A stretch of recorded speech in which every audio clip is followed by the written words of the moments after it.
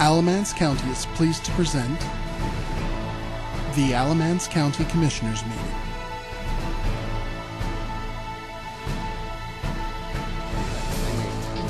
Let's stand for the Pledge of Allegiance. I pledge allegiance to the flag of the United States of America and to the republic for which it stands, one nation, under God, indivisible, with liberty and justice for all.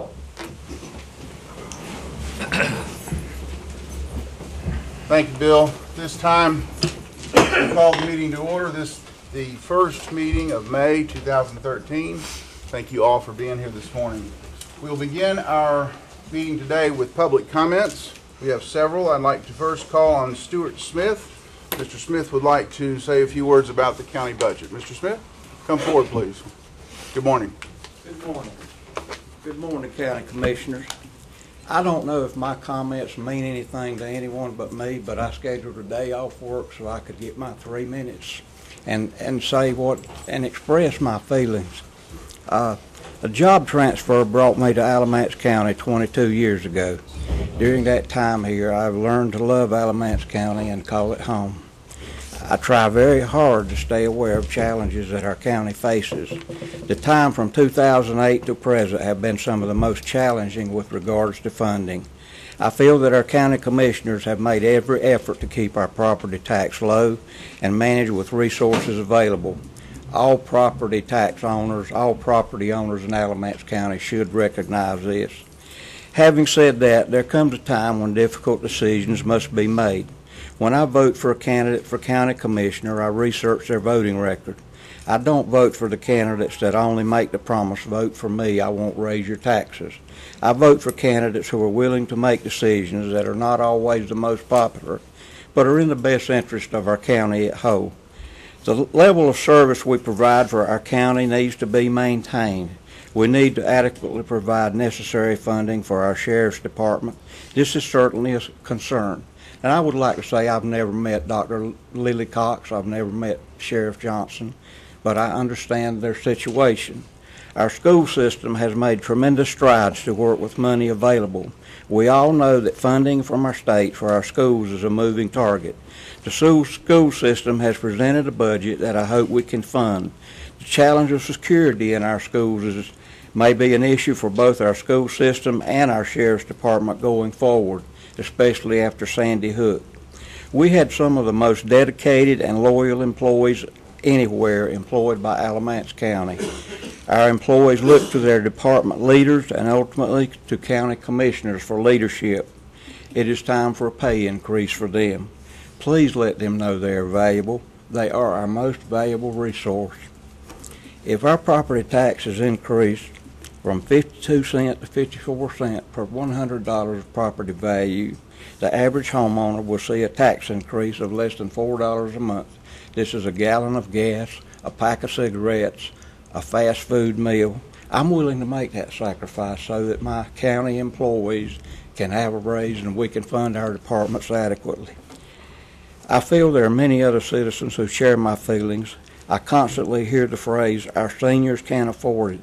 I'm a senior citizen, and I say we can't afford to not to do it. Thank you. Thank you, Thank Mr. you. Smith. Our second speaker is Ms. Ann Vaughn, also would like to talk about the county budget. Ms. Vaughn, good morning. Good morning. Uh, Commissioners. Prior to 1962, the city schools were renowned across this nation. They were traveling to California and all points east and west and north and south because they heard what a good job they were doing. In 1996, there was a merger, city and county schools. I happen to be in the county schools, proud of it. The promise was made that they would fund the county schools at the same level of the city schools. 17 years ago, promises made, promises broken. We need a better educated workforce. We'd have less crime. We don't want to fill Terry's high tower. but we all got upset when LabCorp moved their one program over to Guilford County, and it was not high-tech. It should have told us something. Not bashing the schools, fund the schools, etc. Higher levels of education attract higher levels of pay. Just don't forget what really matters. What really matters, and that's education. And for the last five years, our employees have not had a raise. In fact, they've had a decrease in pay. When you furlough uh, employees, you're cutting their pay. No work, no pay. This is awful. We've done this terrible thing to our employees and to our educational system. Let's let this be a aha moment. Thank you. Thank you, Ms. Vaughn. Next speaker is Mr. Tony Cox. Mr. Cox, come forward.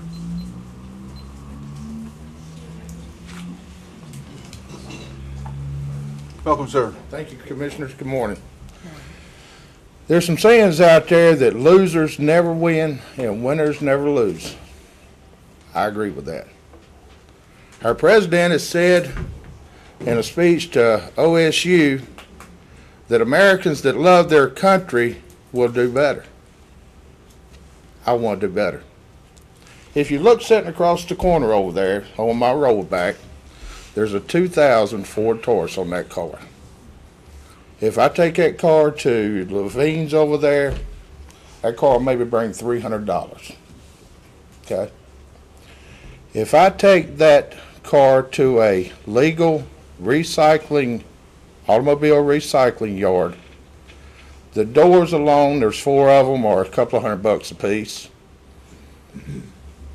The trunks, hundred, hundred fifty motor, transmission, interior radio, air conditioning. That is tax dollars.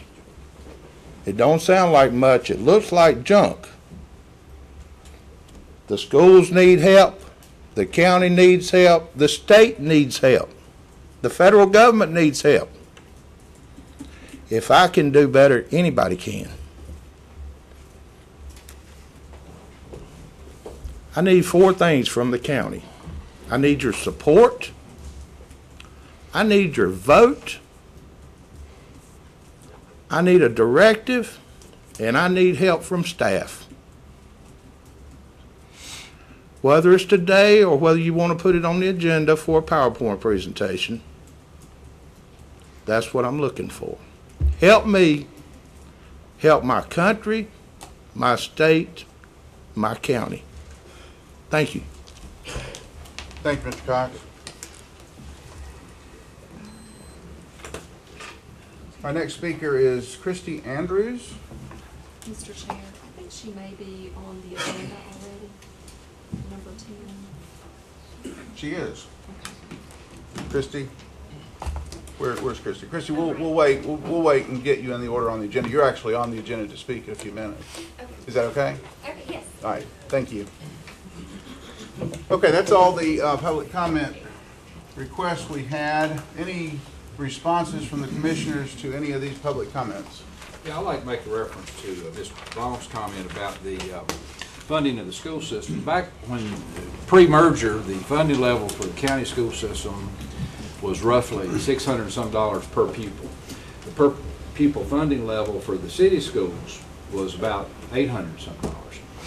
We took four years to bring those two levels together, and now we're at fifteen hundred, sixteen hundred and some odd dollars per pupil. So I'm not sure where you are getting your not equal statement because it's not true. Yeah, well, I don't care, I'll go to the chairman.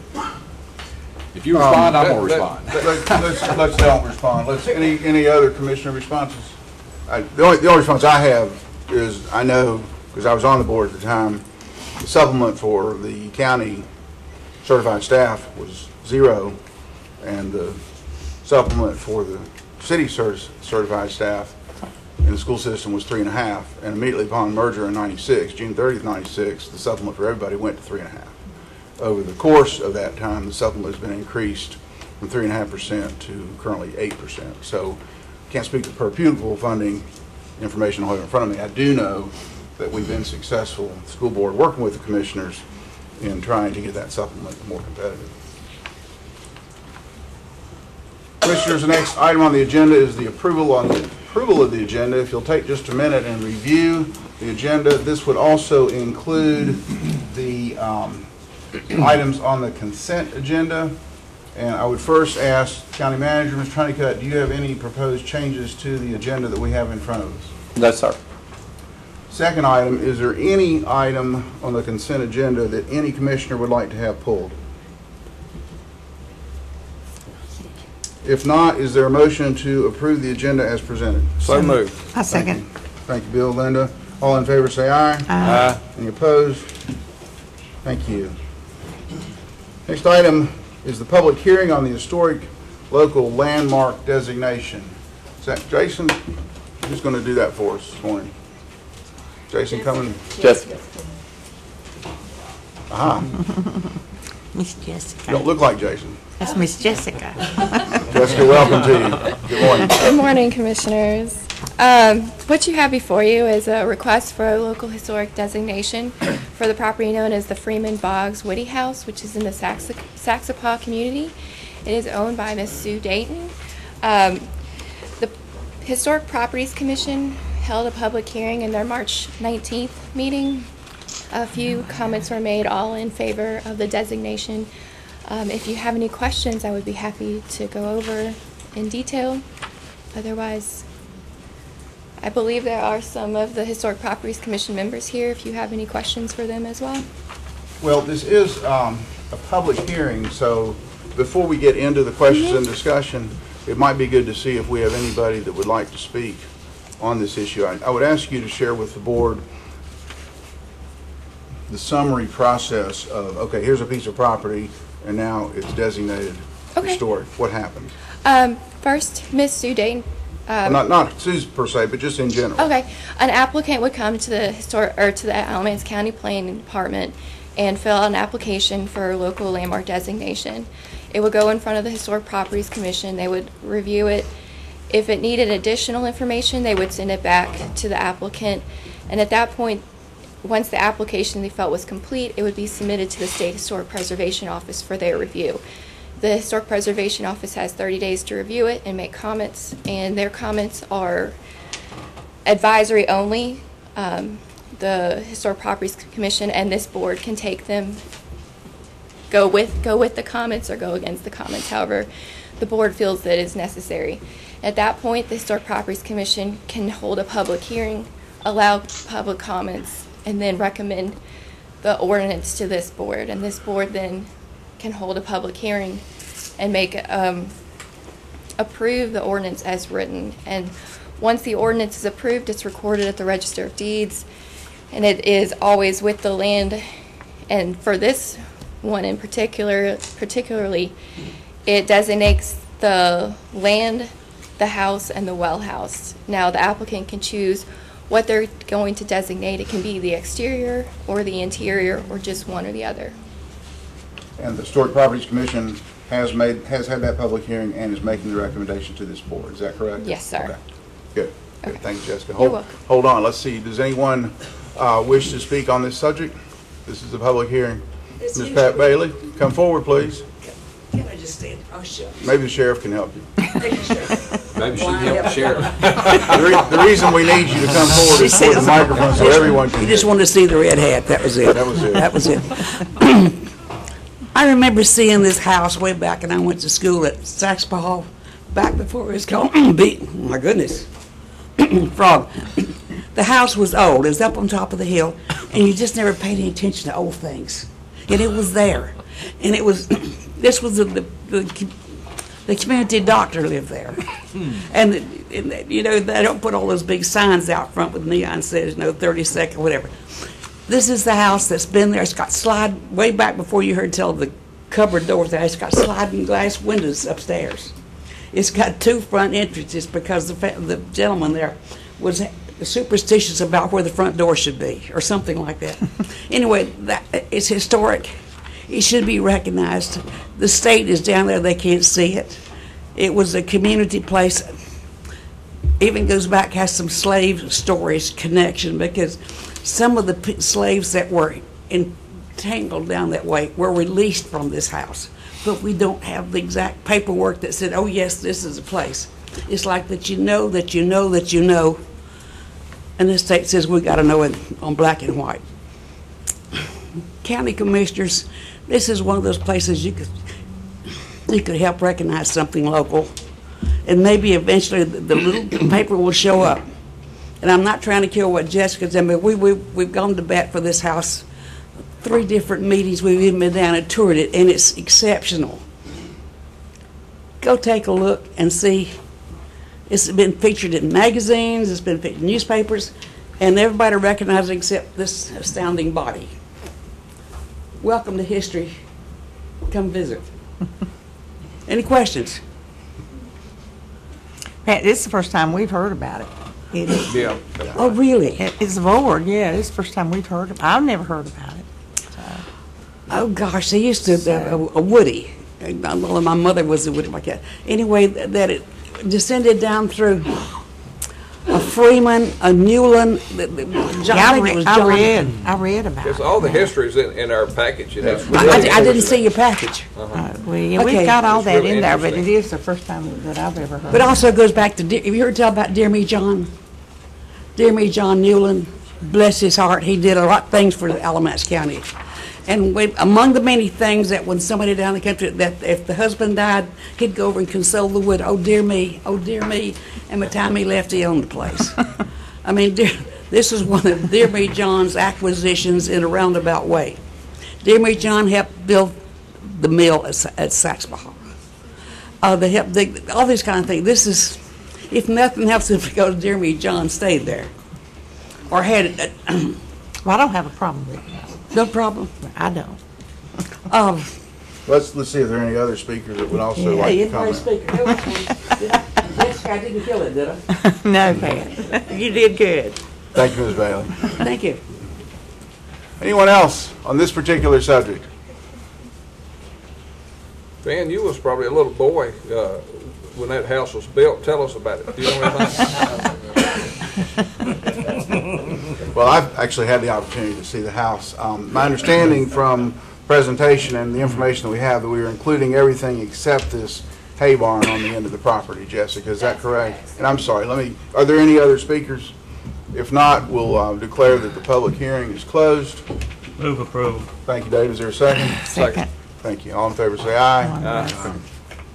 Okay, the public hearing has ended, so you are making a recommendation to this board for the designation of the described property to be included in the historic properties. That's correct. And I do uh, want to make uh, you aware that once this is recorded at the Register of Deeds, um, the property owner can apply to the county property tax office and they can receive, I believe, a 50% um, discount on their property taxes.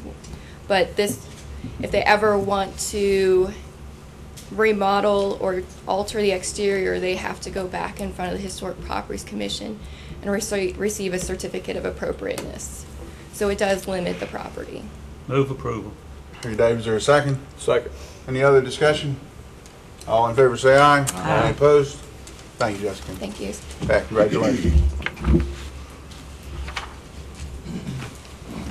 Next item on the agenda is item seven, the Hawkins Economic Development Zone Policy. County Manager Craig Honeycutt, Charles Bateman, City of Mebane Attorney, and Daryl Russell, Engineer with Alley Williams, Carmen, and King are sharing this presentation. Who would like to go first? Craig, you want to outline where we Yeah, are? Be more than happy to. Thank you, Mr. Chairman. Uh, Back last spring, we began discussions on looking at an economic development zone uh, in the Hawfields area, which is an area located between the uh, city of Graham and Mebane, and looking at that for industrial development. And if you remember, we had that joint meeting out at the community college that was well-attended, and the instruction from that meeting was have staff to begin moving forward and begin working on documents uh, to present to the boards uh, for final approval. I do want to thank uh, Charles Bateman for the work that he has done on this. Charles has kind of been uh, uh, the point man on this. I appreciate our attorney as well. Uh, Also, the um, uh, uh, Keith Whitted from Graham. But We're at the point now where we have a couple of documents in front of you tonight or this morning that we would like for you to consider proving.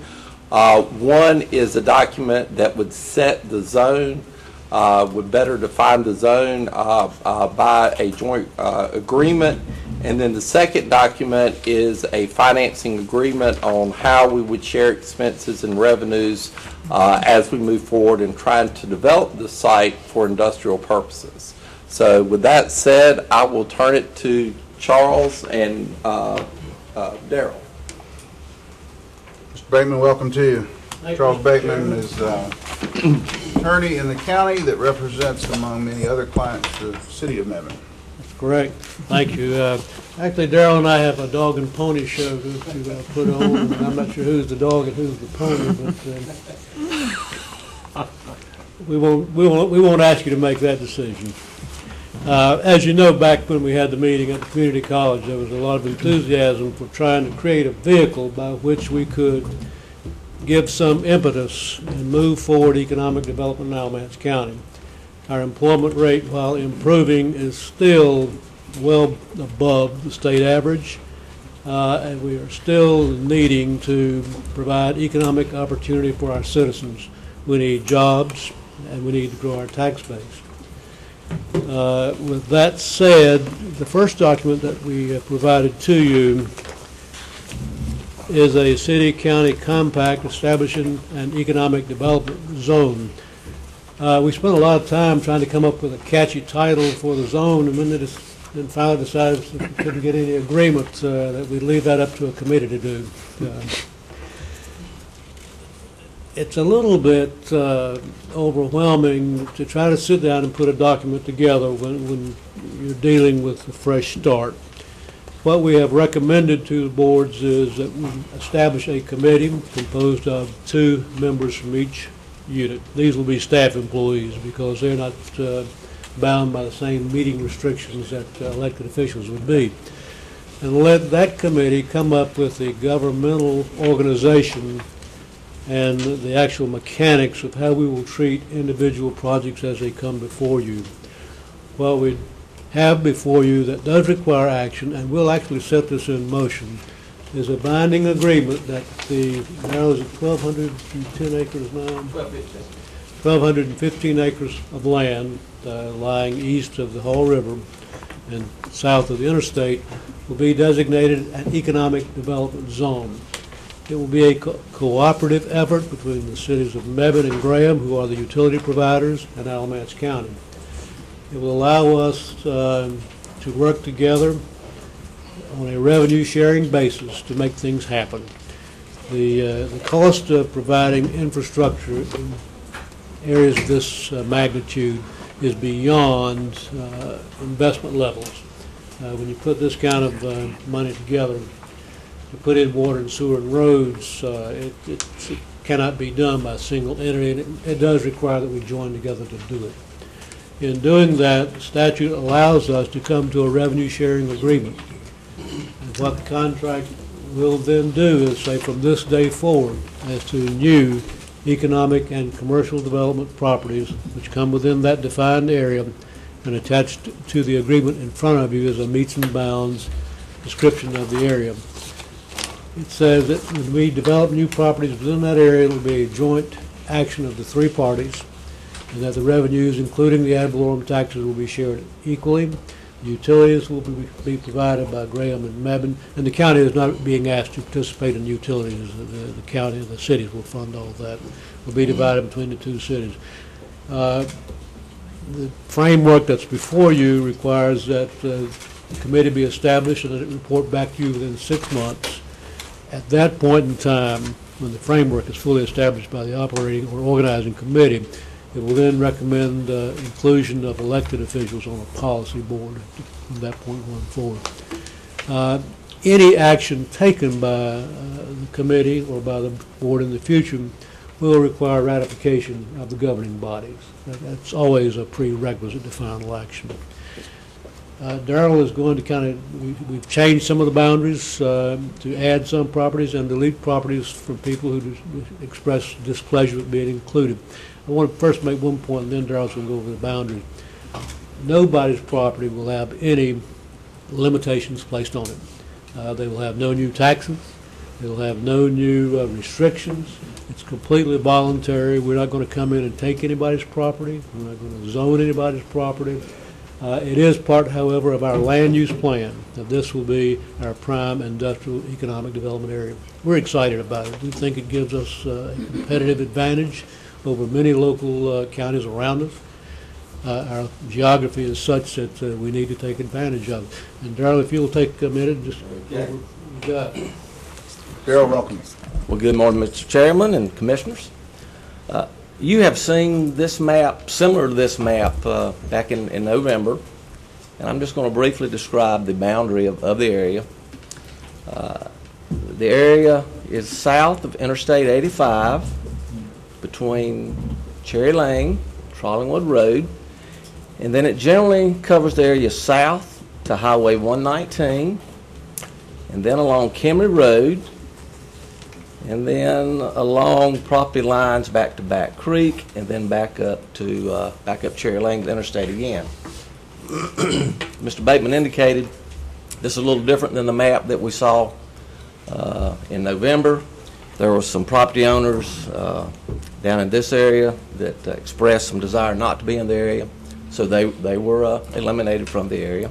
And we've also added uh, a small area down in, near Back Creek where property owner indicated they wanted to be in it. Um, This is a significant area, over, over 1,200 acres.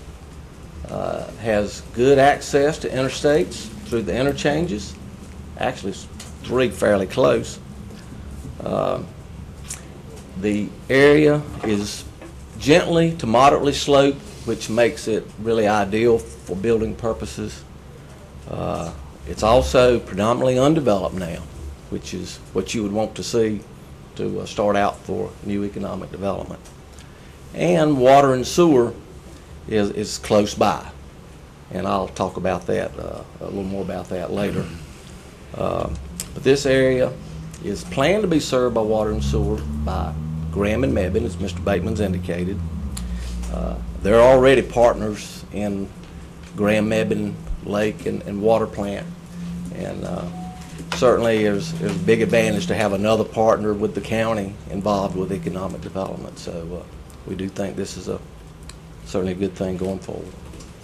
Any questions on the boundary? What about rail? Uh, Is there a, a reasoning for that, or is that something that we need there? And how we're gonna get it? Rail is, uh, it's a pretty good distance away. It's away. close to my house, but, Uh, There have been some prospects in, in the past that looked at getting rail to this site. Mhm. I think it was back during the Mercedes uh, times, but Mhm. it just never moved forward. There's, there's a lot of obstacles to get rail over this site. maybe we can just use trucks. I think so. Okay. Well, rail's was driving the uh, deal on, uh, in Randolph County. And uh, I'm not saying it's off the table, Yeah. but uh, it has been looked at. Well, well, the interstate crossing is the major. That's, that's the big one. so they got that in Randolph, uh, but they've also got the uh, the spur. How much would it, how far would a spur line be from that site to the closest connector? It's uh, probably about two miles. Two miles. It's, it's all the way to uh, Highway 70 in Mebane. Yes, that's where the rail is now. Now Duke Power's even getting involved in the uh, Randolph County. Mhm. Can you explain a little bit about their involvement? Well, I've just heard how it's been over the years. I have not uh, talked to them about this particular site now, but, but they have uh, in the past talked about some, some participation on, on projects, industrial projects. But I haven't heard anything. Well, they're coming up big in the uh, Randolph County, Mhm. Chatham County. Uh, 421, Right? that area. Yeah. Yeah, Duke Power, a lot of talk about. uh, their Well, wasn't, wasn't Duke involved in the original Mercedes I know project? that all. Yeah. I thought, I thought they were. But, but certainly with the creation of a new zone, I think it does lead to increased opportunity for that. Any other questions? Mm, Thank you. I'll turn it back over to Mr. Bateman. Thank you, Darrell. Let me address that point a little bit uh, on on participation. Uh, Currently, uh, we are not envisioning that uh, we will buy land for an industrial park, which I think is happening in Randolph, but that's not out of the question in the future. should uh, the boards and the committee determine it feasible and advisable to actually in- establish uh, sites that are available. It's not out of the question. I think that's when you talk about uh, participation by Duke and other entities. The, um, there are two, actually two contracts before you tonight. Before I move to the second one, I want to talk for a minute, I think you've been provided with um, a listing uh, from the county manager of the current valuation in the zone. That fair market value of all properties is 16 million, uh, and the present use and assessed valuations are around 702.7.2 million dollars. That's the total values in this zone now that you're receiving property taxes from. But you can see that um, there is a really a, a real opportunity to increase the county's tax base. There are two agreements in front of you. And the first agreement, of course, is the compact. This establishes the framework for going forward and that allows us to move ahead. The second agreement before you is a financing agreement for a specific possible project. Uh, I know we've uh, seen in the press uh, references to a project Swordfish. That project is still on the table. They have not made a selection, but we are still um, interested in competing for that project. Uh, The financing agreement uh, references how we would uh, handle that project should they select Alamance County.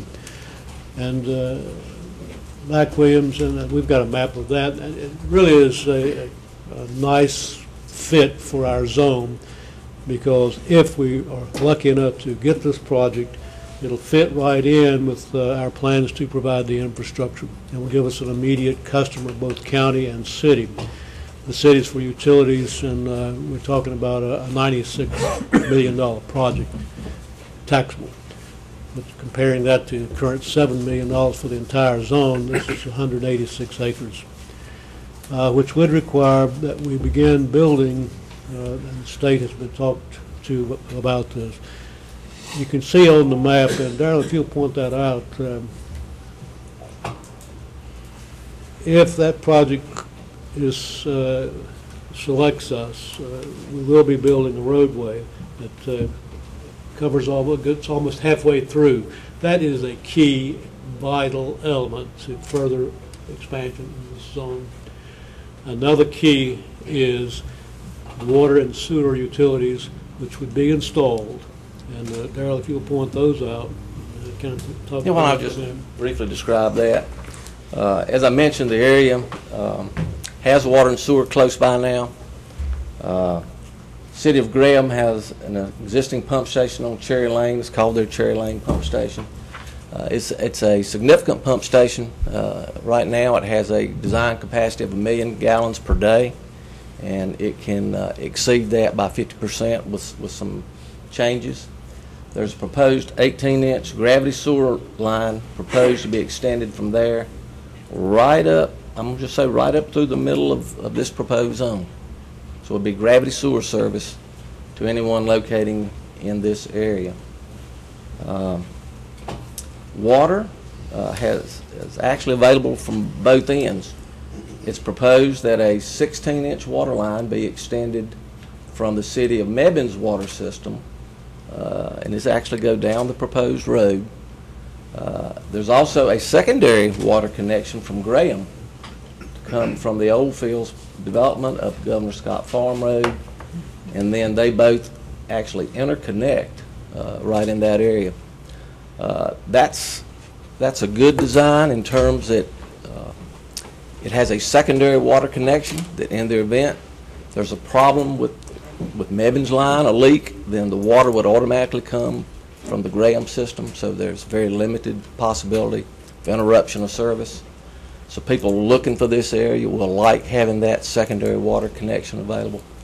It also improves fire flows to the area as well.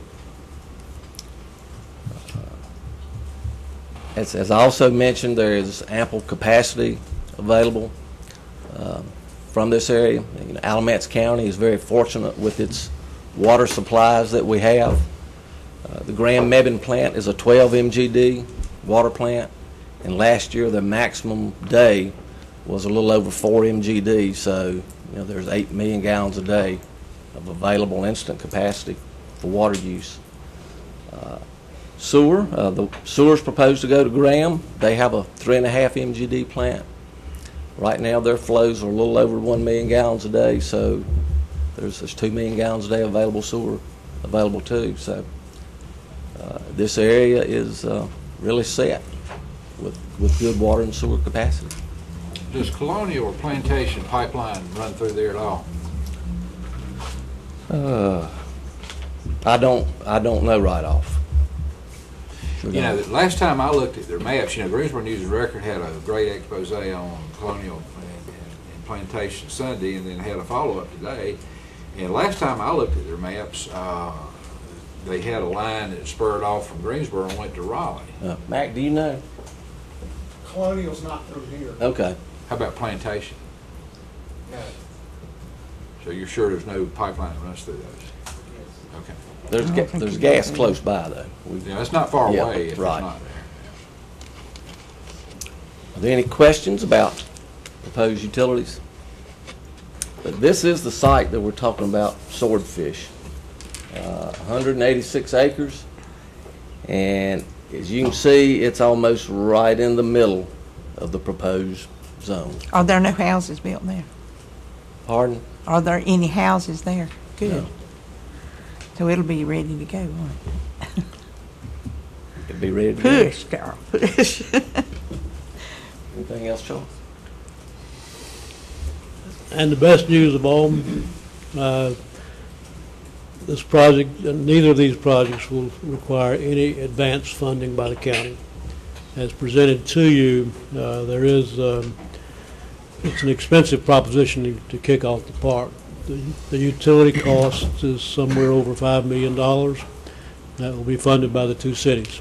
Um, The site acquisition plus the um, rights-of-way for the road is also about a $5 million project. Uh, That will be funded by the cities, except that we anticipate sharing that cost one-third, one-third, one-third, but the cities will advance the money to close the project, and your share will be paid back uh, as you receive the taxes from the project.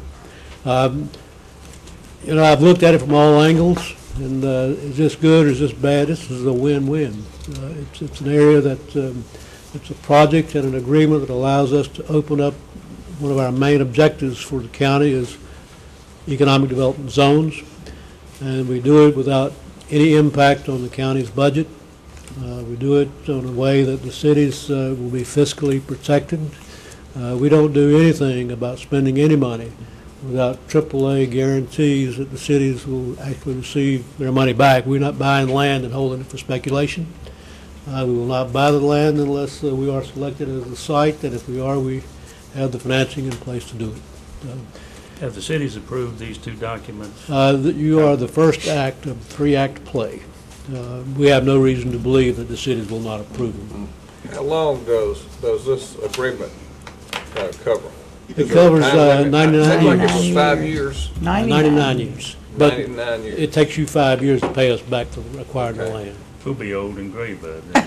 Uh, Well, Not in five years. I'll be David Smith's age. by then. 99 would be a different thing. And Graham and Mebane also meet tonight. They do. Both, both are meeting tonight. Both are meeting. Graham meets Tuesday Oh, night, excuse Mebane meets tonight, and uh, we're- I think from my conversations with individual members of the two boards, I think that they're excited about the project, as we are, and uh, we would recommend uh, to the county commissioners that they adopt both, uh, both packages. If any questions, I'll be happy to try to answer them, or my running mate Darrell will, one or the other. Um, Charles Dale, thank you. Charles, you may want to stay in case there are questions as we go through these two different steps, if you don't mind. Yes, sir. Um, Craig, well, I'm sorry, are there any other comments from commissioners at this time? We'll also have comments if we uh, get a motion in a second.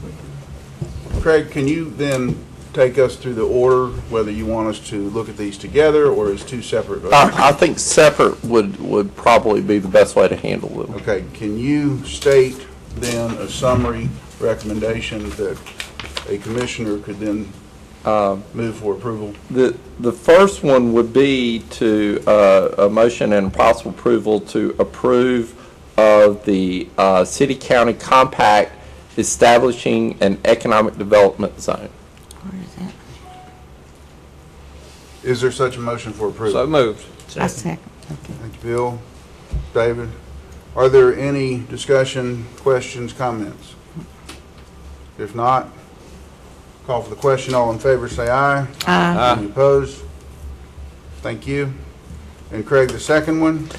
The second one, if I can read, um, would be the approval of the interlocal economic financing agreement, uh, Project Swordfish, proposed Project Swordfish. Do we have a motion for So that moved. item? Bill and David, thank you. Any other discussion or questions on that? All in favor, say aye. Aye. Any opposed?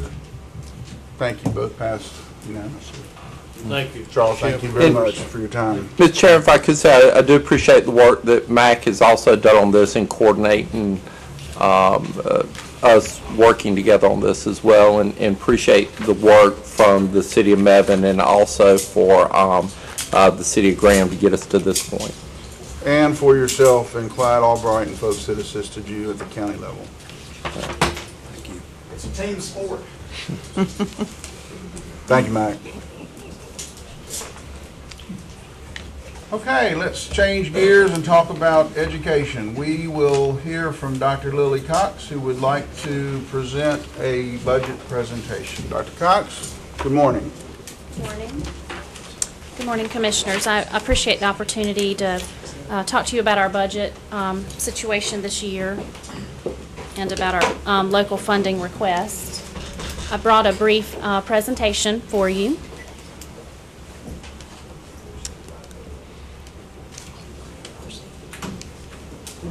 So our project, projected enrollment for next year is 22,690 students. This is 200 students um, more than our projected enrollment last year. And our total operating budget of $180 million. Of course, we receive our funding from three major funders, which is the federal, the state, and the local government. And you see the percentages here on the screen. Um, State is our largest um, funding body at 65%, and then local at 21%, and federal at 11%. Most of our funding goes to personnel.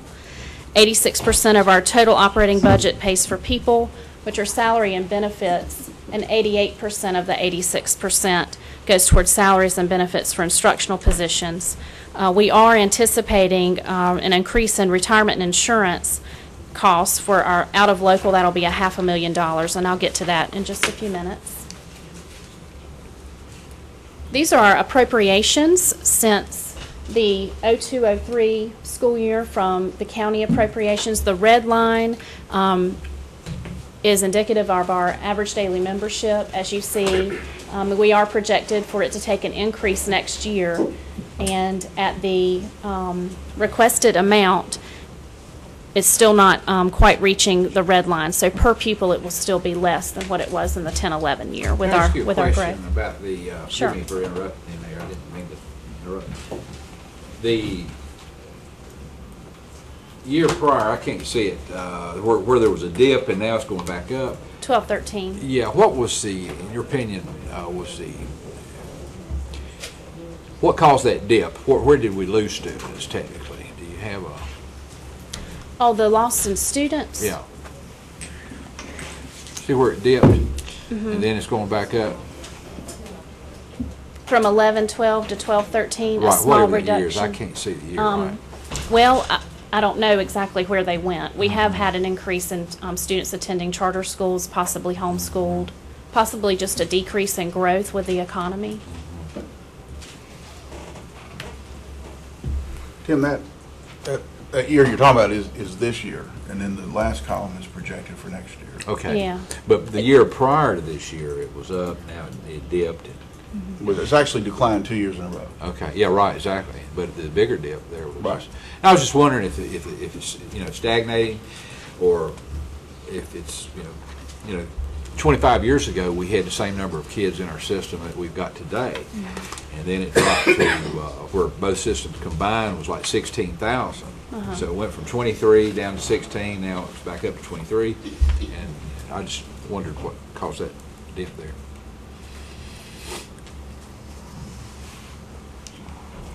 The Public School Forum puts out a financial study um, every year, and their 2012 study is based on the 10-11 fiscal year, and the 10-11 fiscal year was our highest funding year from you, from our county commissioners. And um, we ranked 37th in the state for actual effort to pay out of 100 counties. The spending per student was still below the state average of 1762, but that was our highest year, and that is their most recent study. Course, next year, we'll focus on the 11-12 school year. Um, This puts this information in more of a chart form and shows our county allocation by year, um, our first month average daily enrollment, and then all we have to go on for next year is our projection. And um, the amount that I've requested goes back to the 10-11 year, and that would still put us at slightly less per pupil funding if our projections come in as expected.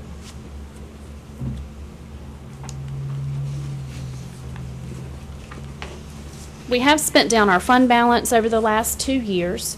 Um, Our fund balance was used for technology upgrades, primarily in our secondary schools, um, putting technology in every classroom, grades 6 through 12. School safety, which is um, a priority of ours, putting camera systems in every high school meeting unmet capital needs, um, which is basic maintenance and materials and equipment for our schools, restored 20 teacher assistant positions, and then one-time cost of professional development for our teachers. Some challenges that we're facing, um, the federal impact on local funding. If you add the 2.2 and the 1.2 million dollars loss in local funding, that equals um, the increase that we're asking for of 3.4 million. Um, the EduJobs funding was a one-time grant, and we have used that to pay this year for $2.2 million in teaching positions. And sequestration, we've been told um, to expect 10%, which could be 1.2 million. EduJobs did not create new positions, but was used to offset state funding cuts and discretionary reversion, reversions, which have not been restored. I mentioned this earlier, which are our state unfunded mandates for the 13-14 budget, and this um, half a million dollars impacts our local funding as well. So the increase in hospital insurance, retirement costs, a one-step increase, and unem- unemployment costs would be 528,000. So that's the um, state unfunded mandates impact on local funding. We have sent money back to the state uh, for the last several years, since 0809, um, and you can see this. Our projected reversion for this next year is $5.6 million. So at the state level, the impact on the total budget, $5.6 million discretionary reversion, and two- 200 more students at the local funding request of $1,521 a student is $304,200. As you know, we're still waiting on a lot of information. Um, Our governor has um, put his budget out, and it is in the Senate at this time. It does provide for additional teaching positions to cover those 200 that are projected. Um, So it does not lower class size, but it does give us some teaching positions. However, it does cut teacher assistant allotments to only the K-1 level um, which means um, in our elementary schools, we use our teacher assistants K-5 as we see fit. But if we took all of our teacher assistants and put one in each K-1 room, we would be over by 132 teaching assistant positions. And again, these are decisions that our school board is going to have to make as far as making um, cuts in these areas. The governor's budget also gives a 1% salary increase for state employees, and of course, we would find that increase for our local employees. So that brings me to our, um, the superintendent's budget, and it's no longer proposed. Actually, our um, board did approve this um, last week, about a week ago today. And on the left-hand side, you can see our revenues from last year, and on the right-hand side, our revenues um, for this year, and in the middle would be the differences. Uh, We know at the state level, there's a decrease of 1.4 million. Of course, at the county level, I've requested 3.3 million um, increase Other local funds, which are fines and forfeitures, we expect that to stay about the same. Our local fund balance appropriated, our fund balance, uh, last year, we appropriated 5.9 million. We can't appropriate that much this year, so that's a decrease in our appropriation of 2.5 million. The federal, I've already mentioned, uh, between sequestration and the loss of edu jobs, that's 3.4 million. And then um, our grants would remain the same. I've requested the 750,000 um, from the county for our capital needs, and that still leaves us with a deficit of $3.3 million. Of course, uh, revenues um, are matching our expenditures. The bottom line is still $3.3 million. On this um, slide, what I've done is found 10% cut in purchase services and a 10% cut in supplies and materials. And then the rest of that would come out of benefits and salaries. Again, these, these numbers, um, the board will make these final decisions when we have our final budget numbers from the state. We are expecting to hear something from the Senate, hopefully this week or next week. We know that they're reviewing it. Um, and again, a, a bottom line would be a cut of $3.3 million. Of course, this just reviews the request um, from, for, from the county um, of the thirty-four million, five hundred twenty thousand, nine hundred and seven dollars and 750,000 for capital. And just to review our capital needs, we've not um, received this capital funding for two years, and we've depended on our fund balance to cover some of these needs. This goes into detail, some of our needs for health and safety, um, carpet and tile replacement, restroom renovations, indoor air quality, HVAC, um, construction and repairs, you'll see a lot of modular units, roofs, flooring, um, tree service, paving, and then capital outlay, um, classroom furniture and equipment, and then two activity buses. Totals $1.3 million. How many modular units are in the system now? I don't have that number with me. I don't know if Dr. Monroe, I can get that for you. Yeah, I'd like to see that. Sure. Be happy to. Dr. Constance, does the, excuse me, does the state still have that um, public school building capital fund? Do they still? They are not funding that anymore. If there's any money left in there, um, it's still available to use. I don't have the number with me right now, but it's office right now. And how about the uh, capital portion of the lottery fund? That is still, About how much are we getting for that purpose? It's a quarterly distribution still, right? it is. The last figure. I don't have that. I can pull that up. It's out on the, um, on No, the. it's okay. website, but On the website. Yes, that's still.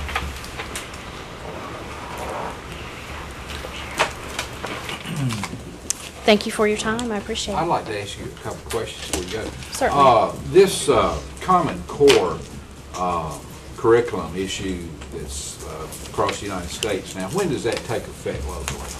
Um, This year. It This started year. this year. How much federal money is flowing with Um, To my knowledge, there's um, no federal money coming with that. that? Really? I've heard- Now, go ahead. No, no, I just heard that there was federal money flowing. Well, we, um, we use some of the end of the Race to the Top dollars to help us with that, but that is primarily, um, Common Core includes training for our teachers, which we have provided that on those um, teacher workdays throughout the school year. We've provided that internally. And then, of course, um, we have not received textbook funding, so there aren't any materials and supplies that have been provided with that. Uh, Is Common Core going to require more teachers, less teachers, or is it going to be more expensive than our past curriculum uh, years? Well, the Common Core um, is a difference in what we teach and how we teach it. It does not address the number of teachers. It Or Is does, it going to require more teachers, or is it going to be more expensive to implement Common Core versus pre-Common Core? not necessarily. We would always, um, our students, we know, always perform better with a lower class size. The Common Core lends itself to teaching in smaller groups. However, um, it it doesn't require that. Um, One comment about your 37th ranking in the public school forum. Uh-huh. Uh, That's, that's an accurate ranking in effort, but uh, there's another analysis uh, in that survey that shows what our ability is. Uh-huh. Our ability is like 48. 48, that's Yeah, right. and we've, lo- we've lost rankings in our ability Yes. Versus we gain rankings in our Effort. effort. Absolutely. So that's not a bad sign. That is not. Frankly, and that's not a bad figure. Um, l- My last question is, um, I stopped by the Career Tech Center Mhm. uh, the other day and uh, went in, and it was between two and three, and I think they were in their full afternoon session. Um, It appeared to be, based on the rooms and seats and everything that I saw, it appeared to me that, I I think a very liberal uh, analysis would be forty percent in use. Uh, Probably less, but I'll give you forty.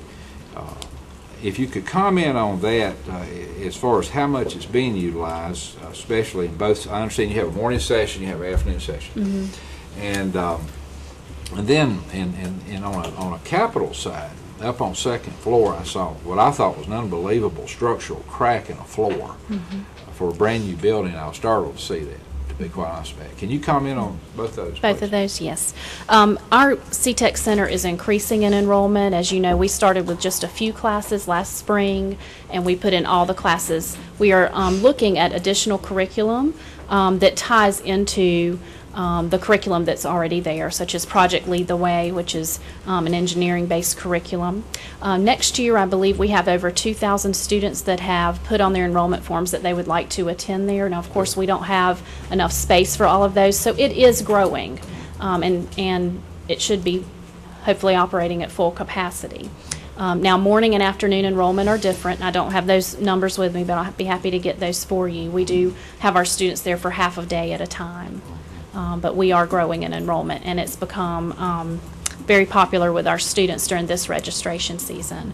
Uh, The crack that's in the floor, we are aware of that, and the architect is aware of that, and we're working with the contractors on that at this time as well. It's serious. Yes. And I don't know if Dr. Monroe has more information. Yes.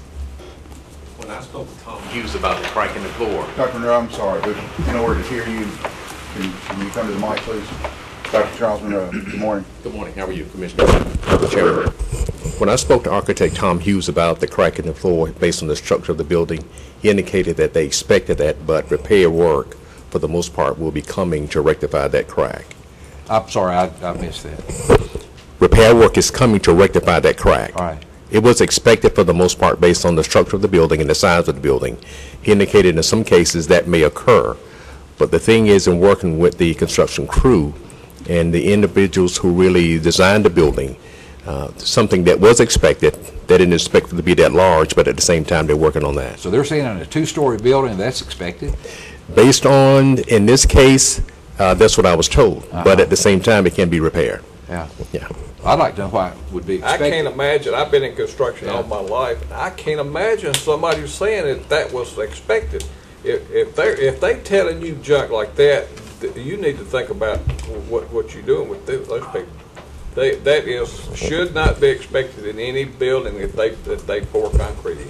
Well, I think based on also what he said, that it started out in- at a small nature, and then, of course, it increased. It always does. Yes. Yeah, yeah, I mean, it, it- it's, it's, it's startling to see. So do they have an expansion joint in that, in that building? That should take a care, take care of that, that- that crack. As far as I know, they do, they have that. I'm not sure about all the specifics in terms of the building itself. Yeah. I mean, it runs from, You should think about suing that company. it runs from the elevator across the, the catwalk, I, I would call it a catwalk, but runs across, into the art room, so, and so How much. wide is it? Uh, the one in the hall, I think you would lose, uh, a half dollar down through the crack. I mean, it's, at least that's what I saw. Mm. And the crack that runs into the art room, uh, the teacher told me that she was concerned that as she rolled stuff across the floor, that the wheels might get hooked. It's just gonna get worse. And flop over the equipment in the floor. And, uh, it- Well- it did look good. Even at that, they are going to correct that. I hope so. They will. Okay. How much is the busing for the students to, and there, and, and, and- I'll preface it by saying, the reason I'm asking this, I read that there was an issue about carpentry at Graham High School and a quote of eighteen thousand dollars in busing those students from Williams and Cummings to Graham to take carpentry. How much is the cost of busing other students to the Career Tech Center Mm-hmm. I, I can get that amount for you. Um, one of the differences is, um, we're busing students to the Career Tech Center for a half a day. Um, and so they're there for two hours and our bus drivers may be able to go do something else, um, instead of us paying for them to sit there. Um, where the carpentry class has been changed to, it's only a one-hour class, a one-section class at a time, and that's a decision made at the state level. So they would have to drive them there, pay them to sit and wait, and then drive them back um, a couple times a day. And um, that's for the um, small, small number of students. So that's just one section of a course. That's not cutting a course. It would just be um, a section. But I can get the numbers for busing Can to carpentry not be C-Tech. done at the Career Tech Center? It's not. Could it be? Um, that's a possibility. Um, we really looked at um, a curriculum for the CTEC Center um, that would be, um, would have transferable skills, that would be focused on engineering, um, technology, and math, and to use that space to innovate, to put in our um, Project Lead the Way, which is a program that is um, across the country that is feeding into many of our two-year and four-year universities. It has a direct link to them. So those were decisions we made. Now, we do have carpentry programs at three of our high schools that are thriving, um, that are, have high numbers of students taking those, and we're really proud of those, and I'm glad our students have those opportunities. We do have some numbers that you asked about. She's pulled it up on her phone. The ADM fund, mm-hmm. Alamance Burlington School System has not received any money since the 08-09 school year. Um, And they have retired that fund. They current, there's a current balance of 452000 What will happen to that? The, um, the state is no longer funding. Oh, I understand that, but Yeah. you said there's a balance of four hundred fifty-two thousand, is that ours? It, it, belo- yes, it belongs to the school system that could be used. So we could draw on that for capital projects now? You could, and um, I think that, that the largest chunk of that money in 10, 11 was used for retiring debt. So you can retire debt with that money. As well as the capital funds, there's a um, $3.5 million balance in the capital. And last year, I believe portions of that was used to retire debt as well. Right. Mr. Chair, also with the ADM, I believe it requires a, a local match as well to, Yes. to access it. So, The lottery does not require it. right. Other questions for Dr. Cox? Thank you very much. Thank you.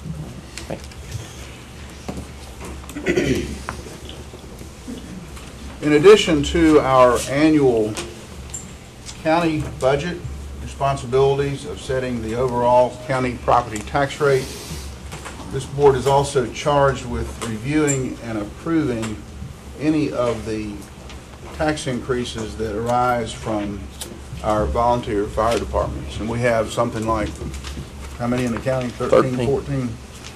And we understand, as of now, three of these volunteer fire districts are, um, in fact, requesting a tax increase for the upcoming year. And uh, we're glad to see all of you with us this morning.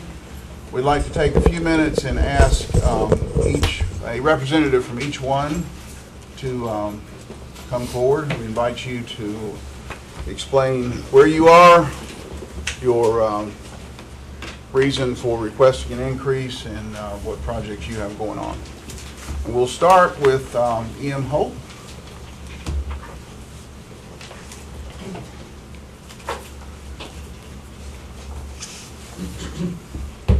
Good morning, sir. Good morning.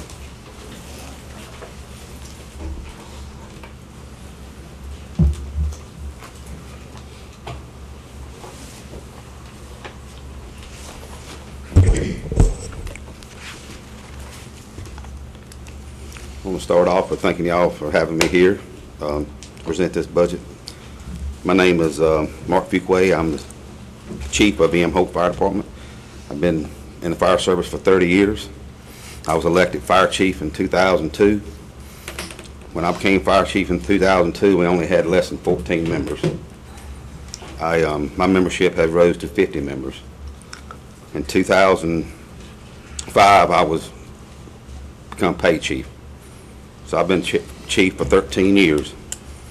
And um, I worked hard to get our fire department where we are today, not by wasteful spending. EM Holt Fire Department needs to keep going forward, not backwards. With the cuts that we have had, we cannot go forward, especially when ISO keeps making us have changes. If we do not keep going forward, this could cost the community more. This is what brings me here today, is to keep going forward.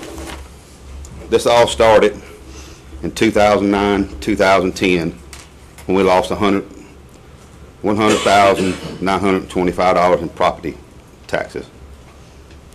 Our budget should have come in at $758,900.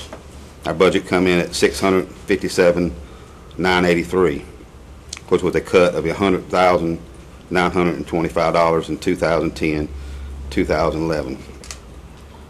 We also lost $32,500.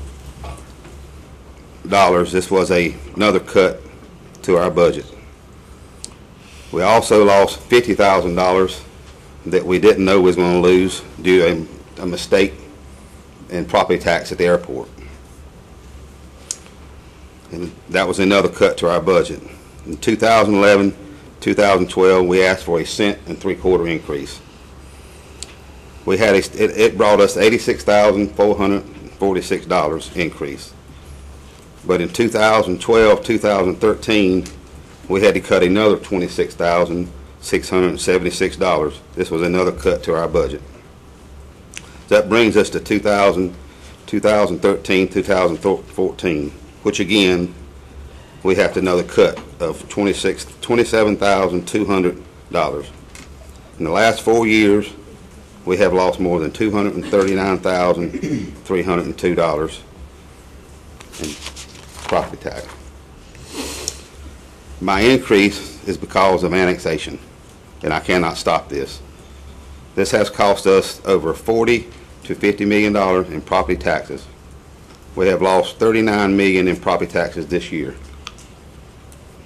The cost for my increase, the fire, fire department to keep going on, like workers' comp, we're looking at workers' comp to go from $500 to $1,000 per paid employee this year. For part-time employee, we're looking for it to go to, from 250 to 500. And per volunteer, we're looking to go from 65 to 250. This is a big increase for the last year. My last year cost was $7,000 what it cost me for workers' comp. I'm looking at it to be $18,000 this year. We also, we have a bill in the Senate legislation now going to try to help fund the workers' comp, but it has not been passed. Um, Is that a local bill that's, has it already been, is it on their, It, it- it's, it's, it's on, but I looked the other day, um, and it has, it's on the agenda, but it has not been passed. Um, But I don't, I don't think it's a local bill. That's a statewide. No, statewide, That's a statewide, I'm sorry, I'm sorry, I misunderstood. I knew it wasn't a local bill. It's a state, it's a state. Um, And also our increase is um, the 800 radio system. I s- I sit in a conference in Charlotte on the 800 system. They say the state needs, this is what the fire service on the state level is, went to the 800 system to find out what we need to complete the system. The state is asking for $36 million more in revenue to complete the 800 system. Another 26, thou- 26 million a year to maintain the system. If the state cuts this funding to the 800 system, could it possibly be a user fee? Um, A user fee, I've got just to verify that it, that it possibly um, on the legislator watch, they've got in there stating that there wouldn't be a user fee. But if they cut this type of money and do not fund this 800 system, I'm worried about a user fee. Like Guilford County, they have to pay a user fee for their radio system. They, they have not said yet, this has not come up. I looked the other day on Legislative Watch, it has not come up yet. So, um, and also, talking about annexation, the city just annexed me again this year. I had John Deere and Sheets on White's Kennel Road. They have annexed it already. I didn't, I didn't have them numbers on that, but that's, that has already come upon us. Um, and cuts that we may have to do if we keep getting cut like we do is public service calls. Like some of our public service calls is um, fire prevention we do. We do free smoke detectors. We um, do the prom promise every year for schools. And one big thing that we do is trees down. I don't know if y'all know what that means is anytime a tree falls, they call us to come cut it down. This is, this is DOT's responsibility, but the fire service does it to help the community. If, if we were to do away with that, it would be a big burden, which about three weeks ago, we had a tree go down in Alamance, and traffic was backed up all the way to the school. And we finally got called on it. But there was two deputies tied up directing traffic. So if you had to call out DOT to, to come cut those trees down, you're looking at probably an hour. So you're looking at two deputies tied up an hour. So those are just some of the, the public services that we do.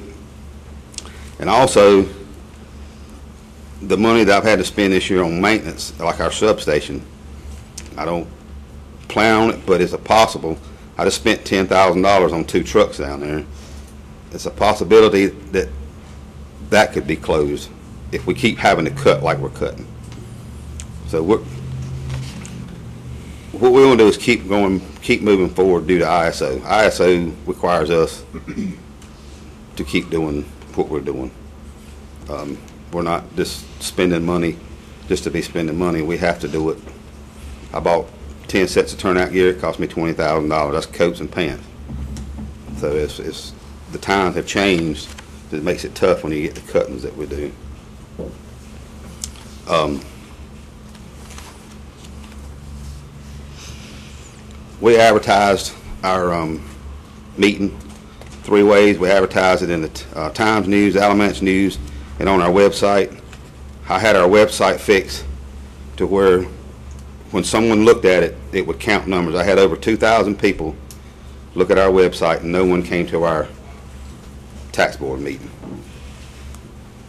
Um, On the 20th, we met with our tax board on the budget. It started at 7 PM, meeting lasted until 9. We had no one from the public to attend. Meeting, um, all the board members was 100% on a penny increase, Chief, how much, what's, what's the increase you're asking for? for one cent. What's the base? Right It- now? As far as money-wise, Where, where are you now? Eight point five, we're aren't you? at, we're at nine and three quarters. Okay, nine and three quarters. So we turned down in um, '08, when you had property tax, we turned down an increase then. So that's, if, if we'd took the increase then, we'd probably been, it would've helped us out, but we turned it down. But, because we had, our district had the largest industry in the county. And um, we have lost that. We lost the airport, all of our industry the city has annexed all the big stuff and left us, we still have to run into the city for spots. Um, Our call volume didn't drop, because the only thing we've done in the industry part was run fire alarms. So as far as um, call volume, we still had the same amount of call volume. And your staffing levels then haven't changed, is that correct? Our, our staffing level hadn't changed, other than we done away with one employee full-time, and we're filling those with part-time people to, to save money.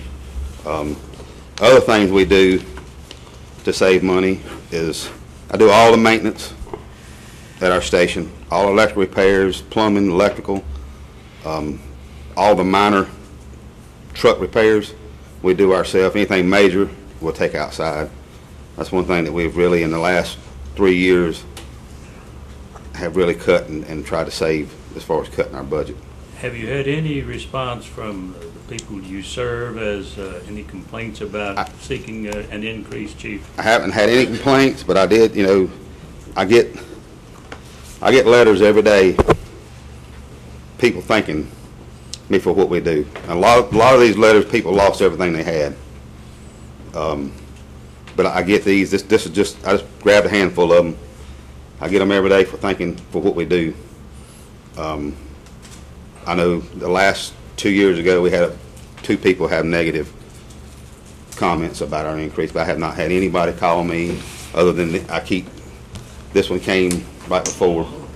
I keep, I get letters every day. I don't want to cut you short, chief, but I move approval of your request. Well, we're not really, we're really not doing that today. Um, We're not? What, no, these this are- will be part of the budget Yeah, this will- ordinance. Oh, okay. That's Yes, right, that's right. Um, what we're doing is hearing the request, they'll be incorporated into Craig's budget discussion on the twentieth, then carried over to the public hearing in June, and then we'll act on everything. How about, any questions? Yes, sir. I request, I couldn't find it. I requested uh, the budgets for all three, and um, I can't find them on my uh, iPad where Craig sent me. Uh, First of all, your ISO rating is what? My ISO rating is a seven. Seven, and And I'll, I'll, the reason our ISO is a seven, it was due, due to the industry, and we did not have enough equipment to provide service to the industry that we had. And that was a year in 05 when we had ISO, that's when they required us, they, and our requirement was to buy a ladder truck, mm-hmm. which we didn't do because we knew at one time that we was gonna lose that. And, and another thing that we're trying to do is in the western part of our district, is try to take care of those people up there. You know, we extended six miles, and it didn't quite take everybody in. So that's, that's one thing we're looking at trying to put a substation. so these ratings, and we've had good discussions over the last couple of years about what these ratings meant and and what the goal is. A seven, you desire to go to a six, right? Or- I, I- I def, we probably would have had a six if it not been for our industry. All right, how many do we have that have sixes, Dave?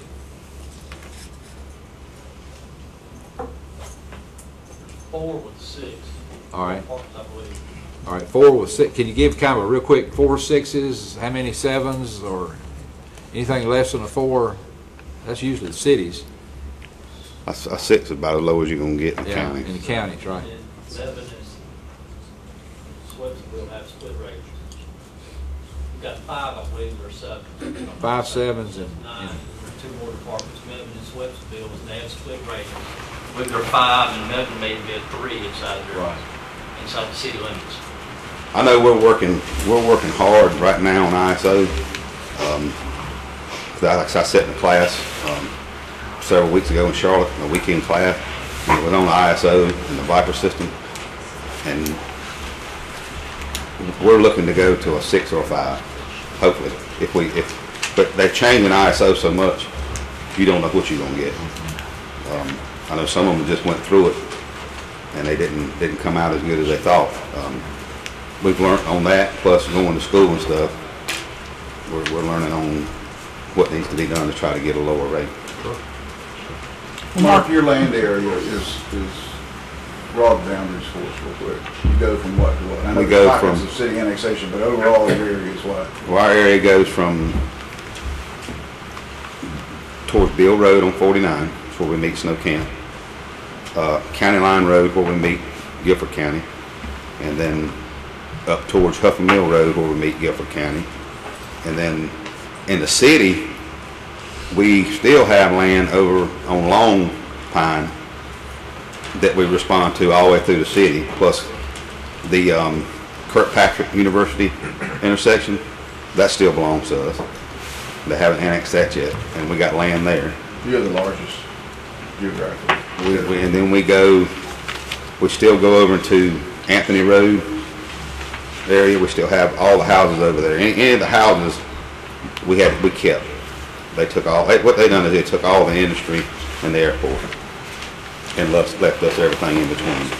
And then we meet Swepsonville down toward Graham. And then Graham, we meet on, um, Monroe Hope. And we still, we still have a large district. And, and our, and our, and the thing that we, we're trying to do is, is the people towards Guilford County. And, you know, I, I, I hope we move, it's gonna take a lot of money and we're just thinking, we're we're thinking of it because we don't have the money right now to do it. But Guilford, they're also looking to build in that area. And we have sat down and talked to see if we could do something together. And I don't know if it's possible or not, we haven't got that far. But to try, to try to merge something together to help, because they have the same problem. And as far as Beaver Hill, they have the back side and we have the front side. So, um, they're having to go through, through our district because there's no road to it. So, Mark, I did get a call.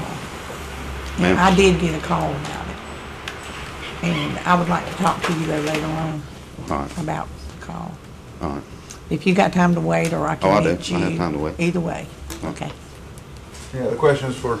Yeah, Mark? a- again, I can't find it, I hate to ask, but, uh, cash on I hand, got it. investments, what's that total? I got it right here. Um, As of March, our cash on hand is, is four hundred and thirty-three thousand, seven hundred and thirteen dollars.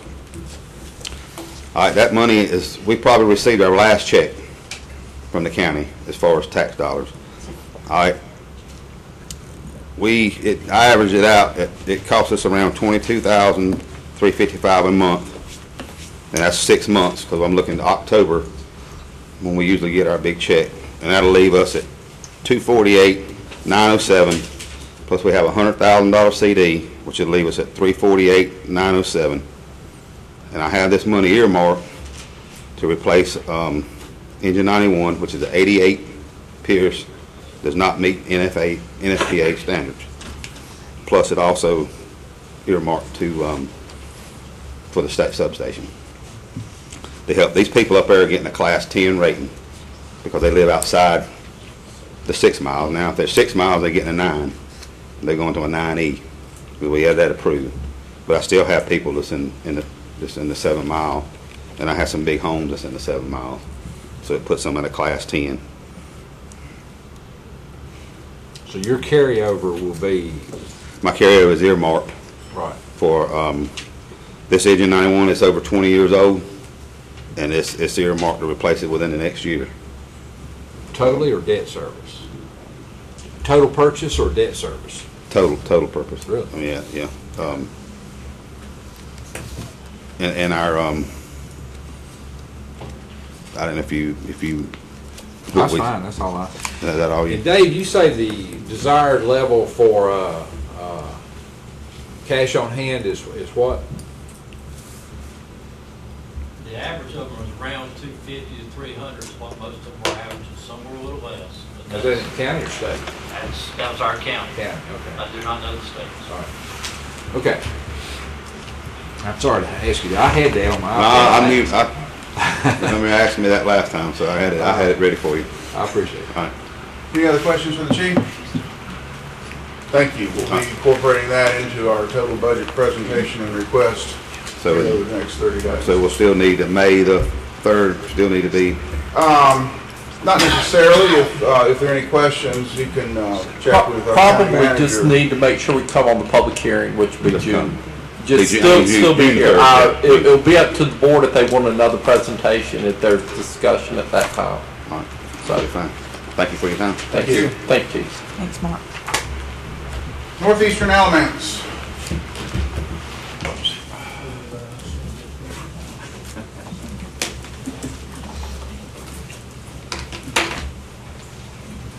Morning, sir. Good morning.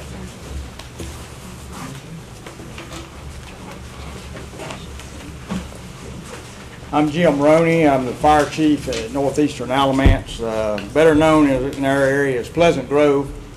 Um, I've been fire chief for, off and on, for over 20 years. Um, I am a charter member of our station. We were chartered in 1975. So uh, we've been in operation a while, but not nearly as long as a lot of the fire departments in the county. Um,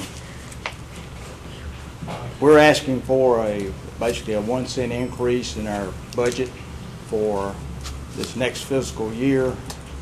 Uh, Currently, we're at seven cents per hundred dollar valuation, which, uh, unless I'm mistaken, is the lowest in the county. Uh, We've been at seven cents uh, as long as I've been chief, uh, so that's been quite a while, uh, even longer than the time I've been chief. So, uh, of course, as you know, the uh, economic times have, have, have worked on us in terms of our finances. Uh, Costs keep going up, but uh, our budgets don't seem to keep up with it. One of the problems we have, and, and, and it, it, that you can see, uh, maybe on your sheets, uh, that, of our budget, of what's actually happening, uh, we need to increase, uh, this one cent in order to start looking at some type of facility upgrade. We're, we're in a building that was built, uh, part of it was built in nineteen sixty-two. Uh, The remainder we were added on in 19, completed in 1983.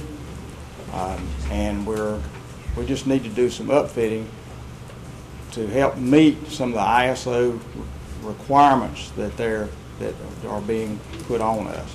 And some of them are safety issues, uh, like we'd like to have a non-slip floor where the firemen are safer moving in, moving through the station and so forth. Uh, Another thing we'd like to do is put a, an exhaust system in the, in the station, uh, where we can exhaust the diesel fumes. When we started in nineteen seventy-five, there was no such thing as a diesel truck. But now we're, everything's diesel. And of course, those fumes are considered to be carcinogenic, and that's one of the things that, uh, we need to get those fumes out of the stations when the fire, when the truck, fire trucks crank up to leave the station. So we'd like to put one of those systems in. Uh, We're also would like to have some, let me just back up a second. At, the- at this point, we have, we have um, hired uh, Ida Williamson, Carmen, and King. They're coming in, looking at our station, uh, the footprint that we have now, can we better utilize our space? We're trying not to, we're trying to use the space we've got better before we have to make any decisions to add on or to build another station. So that's kind of where we are right now. So really, the one cent increase, uh, uh, everyth- everything else is staying the same in our budget pretty well, except we are asking for, uh, and the one cent will bring us around thirty thousand dollars. Uh, We're, I think uh, last year's budget was two hundred and this would put us, we're asking for two hundred and fifty. So the, it's actually thirty-one thousand, the one thousand is for an increase in our, in our radio communications. We do have the, all of our radio equipment is getting older, and it's one of our responsibilities, keeping those radios and pagers up. Uh, uh, We must keep those maintained for our firemen, for, uh, to be able to better respond to our community. What input, I'm sorry, you go ahead. How many firemen do you have paid? We have thirty-three on roll. uh, And how many you have paid? About one paid uh, fireman, everyone else is volunteer, including myself. Okay. And did you get any kind of input when you had your meeting and? We did have our our meeting March the 26th. Uh, We had no one voice any opposition to our budget. This, our budget was presented to them at that time. I got the same questions. ISO rating for you is what? A seven. Seven? Mhm. Okay, and what's your cash on hand and investments? I think uh, we are showing here uh, $377,000. Basically is, we're looking at that as our yearly operating budget uh, for this next year, or part of it. Plus, we do have money in reserve. We're trying to save money to purchase another truck. We have a 1975 engine sitting in the station we'd like to replace within the next year. How much of that three seventy-seven is carryover or, or earmarked for the truck? I think it's a hundred and thirty some thousand is earmarked for the truck. Right. Is what we have set up for the truck right now. A new truck, uh, would probably cost us around three hundred and fifty thousand dollars equipped. And that's basically what we'd have to have. So at the end of the fiscal year, you look to carry over how much? If if you net out the truck and, Oh, if we netted out the truck, we, we were probably looking at the two hundred, two hundred and fifty thousand dollars, something like that. We like to keep a year's budget in, in front of us at all times because, uh, just like all the other uh, you know, our our expenses are starting in July 1, and we don't get any funding basically to the county taxes come in, and, and that starts usually in December. The big checks come in January, February. Right. Any other questions for Chief Running? Thank you very much. Thank you. Thank you. Snow Camp. Good morning, sir. Good morning, how are you? Good. I'm Willie Holiday, I'm president of the board at Snow Camp Fire Department. We currently have uh, four stations, we cover 76 square miles. Uh, We have 37 volunteers. We only have one paid person, and uh, most of our volunteers work outside of our service district. And uh, we're mainly a rural area, we have no industry, and um, we, uh, we asked for a one cent increase, going from a eight and a half to a nine and a half to fund a full-time position during the day, when most of our volunteers are out of our district.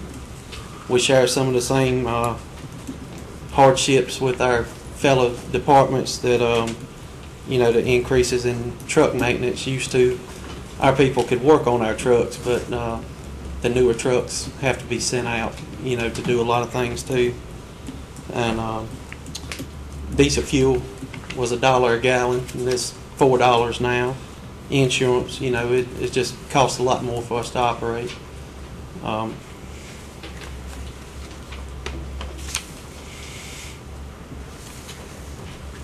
we are trying to um, pay our debt load down that um, we had, and we uh, we're trying to, to pay that off to where we can afford a new building. Um, our building's 55 years old, and it's it's getting in pretty bad shape, but we need for it to last a few more years. How much are you um, requesting? One cent. We, One we cent on- asked for eight and a half. What's your rate now? Eight and a half. Eight and a half. Yes, sir. Questions for Board Chair Holiday? Same questions. Sir, I don't have our cash on hand. Um, I don't have that information with me. Yeah, I asked about that a week ago. Okay. And uh, you sent me the email, it said they, they had a. Yeah, I think we got it today. Our audit was not Yeah, that, was- your, available. the snow camp was the last one we were waiting on. Our So, so, bookkeeper broke her wrist and um, she was unable to get the information. Uh, they're telling us we, y'all will have our audit. Yeah, uh, one of the May figures, 15th. Dave, it was your email that had a digit, either you had too many digits or you had the comma in the wrong place. Are you familiar with what I'm talking about? That's what I was trying to call you about. Well, we're poor, sir. it, it, I think it was uh, EM Holt's, that there was something, that- that- but it's, no, no, we, we, had- we don't have financials yet. We're, we're waiting on, hopefully we'll get that in the. The, uh, May the 15th, they Yes. said they would have that too. Our auditor did. I might stand corrected, but I thought it was uh, Snow Camp where there was a. You, you might, my There was- memory's getting old. There was, well, mine worse than yours. There was a comma, it appeared it could be in the wrong place, or there was too many digits, one, co- but it didn't make sense mathematically as far as Right. what was displayed. And that's what I was trying to call Dave about while he was on vacation. All right, well, look. Other questions? Willie, thank you very much. Thank you. We have a couple of budget amendments under item 11. First from the Health Department. I'm sorry, I'm sorry, I'm skipping mental health again, and I don't mean to. Let me Go back to item 10 and call on Christy Andrews to present proclamation for Children's Mental Health Awareness Day. Christy, sorry you had to wait. Vote on vote on was it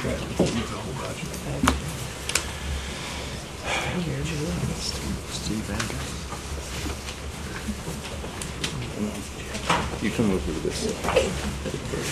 Uh, Good morning, Mr. Chair, uh, Commissioners, Mr. Honeycutt. Uh, I'm Steve Van Pelt, and I chair the local Juvenile Crime Prevention Council. Uh, Em Letsky is here to my right, and she is the chair of the local interagency coordinating council and project manager for Project Launch. And Christy Andrews chairs the community collaborative, which meets with the JCPC every month. Uh, Thursday, May 9th, is the Children's Mental Health Awareness Day. We are requesting that you adopt the following pro- proclamation recognizing this Thursday as Children's Mental Health Awareness Day here in Alamance County.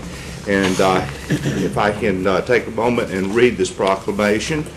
Uh, Whereas to promote awareness of positive mental health, well-being, and development beginning at birth for all children, youth, and young adults in Alamance County, and whereas addressing the complex mental health needs of children, youth, and families is fundamental to the future of Alamance County, and whereas it is important that children, along with their families and community, learn the warning signs of mental health disorders and where to obtain necessary assistance and treatment, and whereas the participation of family members in the assessment and treatment of children is integral to positive clinical outcomes, and whereas an awareness of the mental health services provided in Alamance County can lead to diagnosis and treatment of those mental health disorders, and whereas the National Children's Mental Health Awareness Day provides an important opportunity for our community to show how children and youth with mental health needs, as well as their families, thrive when they have the right supports and services available, and that positive mental health is essential to a child's healthy development at, from birth. Now, therefore, the Alamance County Board of Commissioners uh, does hereby pro- proclaim May 9th, 2013 as Children's Mental Health Awareness Day throughout Alamance County and urge our citizens and all agencies and organizations interested in advancing every child's success to unite on that day to promote every child's mental health and resiliency in every environment that has an impact on child development. Thank you, Mr. Van Pelt. Chris Duran, y'all want to add anything to uh, Mr. Pelt's comments? Okay. If- If, if- if I may uh, add one other thing, uh, the Alamance Alliance for Children and Families and North Carolina Families United will present uh, Behind the Scene. It's a, it's a film on May 19th at the Paramount Theater. This documentary features four families who have received services through Alamance Alliance to meet their children's emotional and behavioral treatment needs. The documentary will premiere at 7 p.m. at the Paramount with refreshments being served at 6:15 p.m. And this 57-minute film will likely be broadcast on UNC TV later this year after showing at the Paramount. Thank you, Steve. This is presented to us for a, um, an approval to declare Thursday, May 9th as Mental Health Awareness Day, Children's Mental Health Awareness Day, excuse me. Is there a motion? So moved. Thank you, Bill. Second. Linda, any discussion? All in favor, say aye. Aye. Any opposed?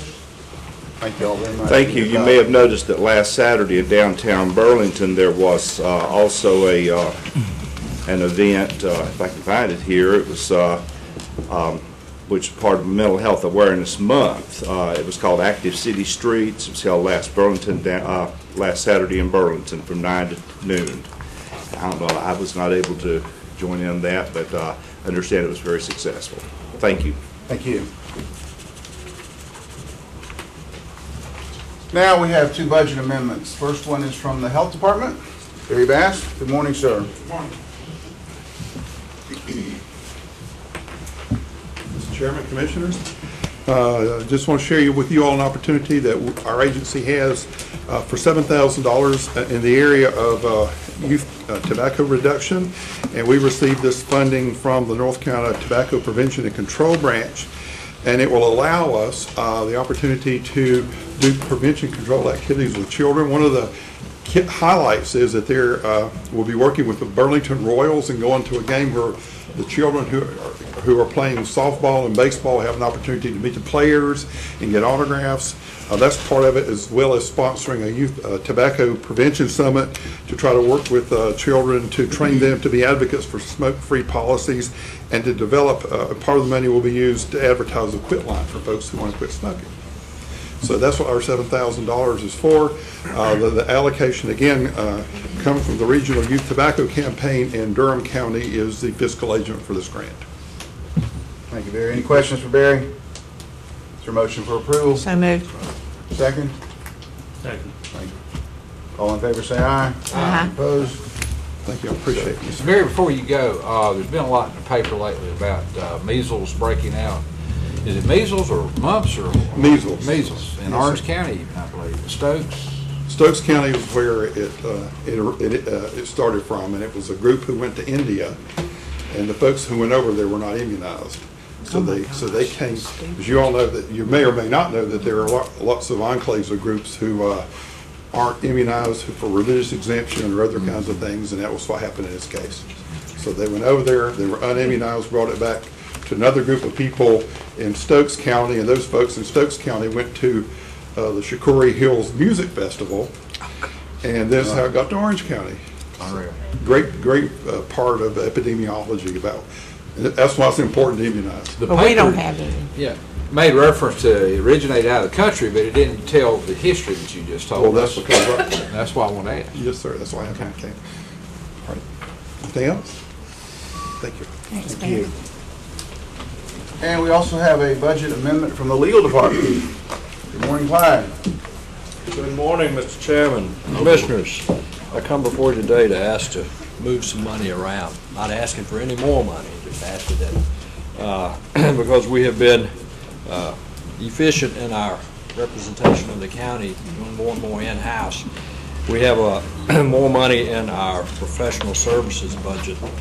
Uh, We have about $48,536.59 in that budget. And uh, we've experienced some increased costs uh, in the defense of the sheriff in the DOJ suit. So I asked the board to allow me to move 45000 from line item 450-191 to line item 4150-190. So moved. I'll second. We have a motion and a second. Any questions? I'd like to ask, when are we going to get an update on, on the latest? And I think it ought to be, in all honesty, and I'll support defending the sheriff as far as we need to defend him. But my issue is this separate from a discussion of what just came out in the paper about them overruling, or not overruling, federal judge, I mean. I I have uh, an update for you in about two minutes. Yeah, I think that's today. Closed All right, session. Okay, all right. We do have a motion and a second. Are there any other questions? All in favor, say aye. Aye. Any opposed? Thank you, Clyde. Yes, sir, thank you. County Manager's Report, item 12. Uh, Just wanted to mention a couple of things to you. Uh, As we talked about a little bit earlier, uh, you will have a manager's recommended budget at our next meeting, uh, which will be on May 20th. That'll be two weeks from today. Um, And also, we do have uh, our public hearing scheduled for June 3rd, uh, which will be at Williams High School in their auditorium uh, at 7 PM. And the rent on that was $4.1 million. And um, so we're working on them uh, to lower that rental cost, so. I- Just joking on that. Um, But no, there is no rent. There is no rental charge, but no. I- uh, um, But uh, just also wanted to mention to you as a reminder of the uh, ethics training uh, that we have um, that will be on Wednesday, May 15th uh, in the MIS conference room, which is upstairs on the third floor. Uh, And this is part of the uh, UNC School of Government's ethics webinar uh, for ethics training that's required now by the state for elected officials. Is that for every year? Yeah, uh, newly elected. Okay. So newly elected. It will be at 10 a.m. If you could probably get there about uh, uh, quarter till 9:45, uh, uh, but this is a mandatory requirement. For? Newly elected. And re-elected. And re-elected. And re-elected, right. Wait, wait a minute, I took it last year. You're good. All right, thank you. You're good. Yeah, you and I took it at the same time. That's what was going through my mind Yeah. too. Yeah. Did y'all pass? Yeah, I think so. Did you pass? Um, I'm not sure. Are there other um, announcements before we go into closed session? I I have one. Um, Been asked to announce that the um, Piedmont Triad's second annual World Elder Abuse Awareness Day Walk will be held in Kernersville on June 15th. This is sponsored by the um, Piedmont Triad Regional Council and and several corporate and medical type um, organizations. You can register online, and it is on-site registration from nine with the walk beginning at 10 o'clock, Triad Park, Mountain Street in Kernersville. And if there are no other announcements, I move that we now go. Mr. Chair, into- may I ask, uh, uh, Sure, I'm sorry. quick point of order? If we, are, we're going to discuss what you're saying that we're going to discuss, can we add an item to that list? In closed session? Right. Fine. Sure. Well, I'm planning to discuss the Department of Justice case and an E EEOC case. Those are the two I'd plan to discuss. Well, I'd like to add to that list a personnel addition to that. Is it an ongoing case, lawsuit? Well, it's not a lawsuit, no. Just a discussion about Is it personnel. a threat of litigation? It's a, it's a discussion about personnel. Okay, well. If it's a fellow board member, it doesn't count as personnel. I'm sorry? If it's a fellow board member, it does not count as personnel. Well, I didn't ask you, and, Well, uh, but I was just that's what the law asking. I- You just take the picture. We, in order to go into closed session, there has to be a threat of litigation or ongoing litigation. As as far as personnel. Right, no personnel, you can't discuss it. I move that we now go into closed session pursuant to North Carolina General Statute, Section 143, 318, 11A3, in order to preserve the attorney-client privilege between Alamance County Attorney and the Board of Commissioners and receive a report regarding the claims made by the United States Department of Justice against the Sheriff of Alamance County and Byers versus Alamance County. Is there a second? Second. All in favor, say aye. Aye. Any opposed? We'll go next door.